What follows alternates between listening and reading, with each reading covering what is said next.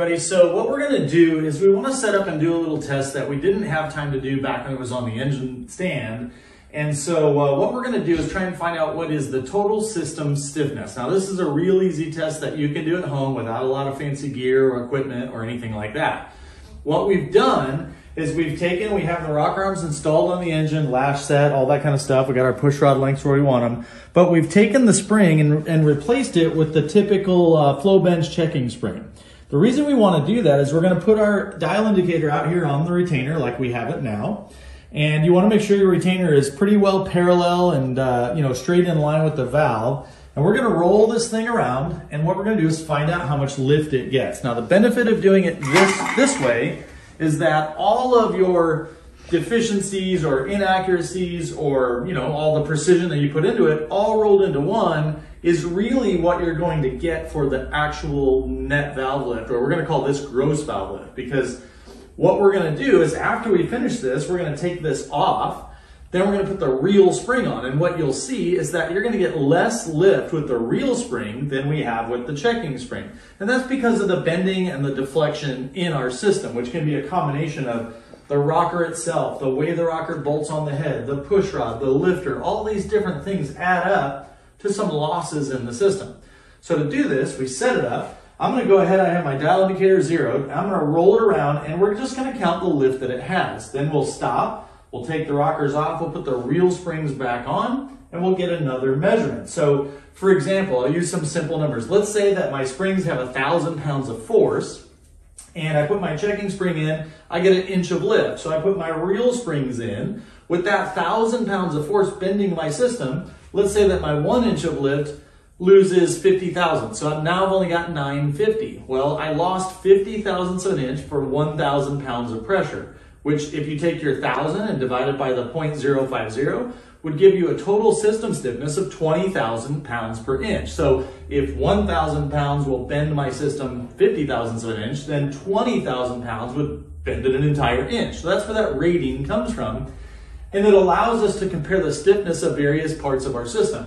Whether we want to change to a bigger push rod or a different bolt to hold the rocker down, or a whole rocker system all in like we're going to do here in a little bit. We're going to do this test with our Harland Sharp rockers that we've been running our uh, engine with. We've, we've got tons of dyno time. We've done a bunch of Spintron time. And then what we're gonna do is gonna change all this over to the new Comp BSR shaft mount rocker system that uses a, uh, a stock rocker arm on a common shaft that gives you a really low moment of inertia, a really lightweight stiff rocker on a really stiff uh, sort of bar shaft trunnion type deal.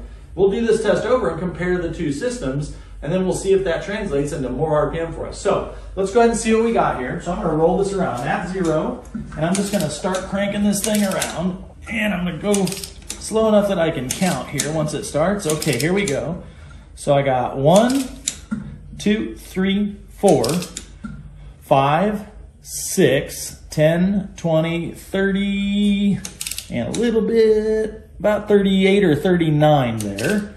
And so now what I'm gonna do is I'm gonna take my pen, get this thing all the way back down here. I'm gonna take my pen,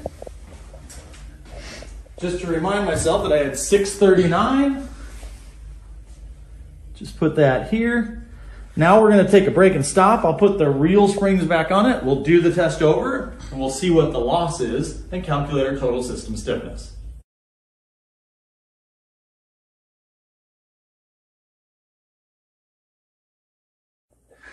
Okay, so we're back to try this again. So now what we have is the Comp BSR shaft mount rockers, and we're also using the three-piece adjustable push rods that we can put shims and stuff in. That's because on the factory rocker, there are no adjusters. So when you have a hydraulic camshaft, you would use the push rod length to set your preload, but here to set lash, we don't have any way to do that without the shims in there. So we got this mocked up pretty good, and I wanted to make sure that we got the lash uh, really close to how we had it before so that we didn't affect our lift.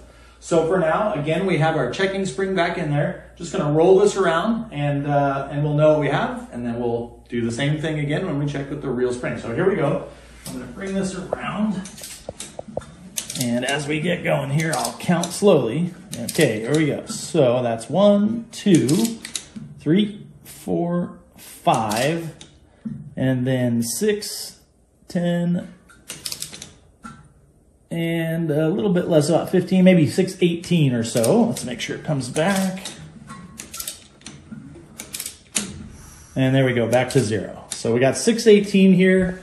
Um, that's most likely just a difference in the geometries and the setup between the two rockers. I'm not going to worry about that right now. I'm just going to compare the amount of lift we have with this spring to the amount of lift that we get with the real spring, and we'll see what we get.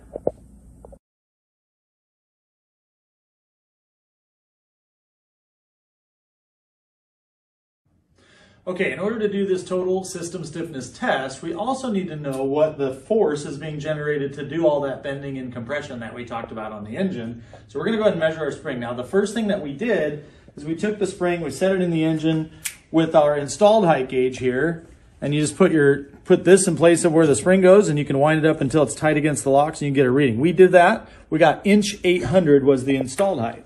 Now, the other thing that we have to do when we have a dual spring like this and we have a retainer with a step is we got to measure the thickness of that step because that's what's compressing, that's what's effectively setting the install height for that inner spring.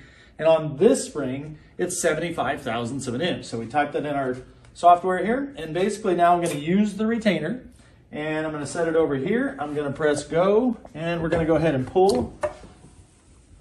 Okay, now I've set this up for the installed height to be inch 800 and our open height to be inch 160, which would give us right at 640 lift. And you can see this is a pretty healthy spring.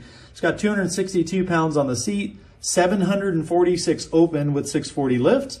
And then our bind compression there would have 8, uh, sorry, 846. So that's basically 200 more. This thing's currently set up at 206 from coil bind on that particular cylinder. Now, in in reality, I wouldn't think 206 is the ideal number, but this particular spring fits in there good. It seems to be working. And so uh, later on, maybe we'll attack that and see if we can find a better solution. But now what we'll do is we'll set it up how it was and we'll run the engine. But before we do that, we're going to finish our calculations. So we now know that we had 746 pounds that was causing that bending and deflection uh, at that rate. So we're going to go have a look. We'll get back to you. What a day, what a day, what a day. Uh, yeah, my brain, my brain is swollen. I've learned so much today. They told us, don't start cars. We are not going to listen.